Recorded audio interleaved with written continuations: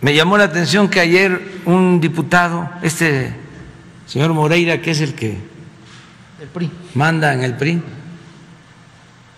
este amenaza y dice, como no hubo negociación, no hubo partidas de moche, entonces que se olvide el presidente, no vamos a aprobar la reforma eléctrica.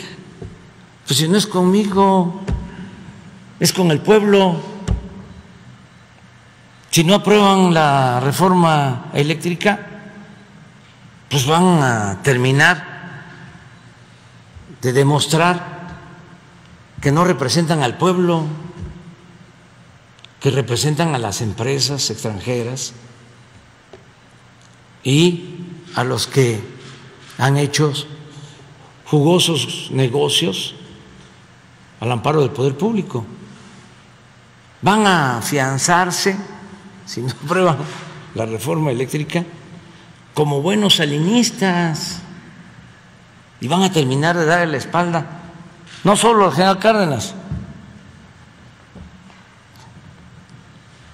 al presidente López Mateos.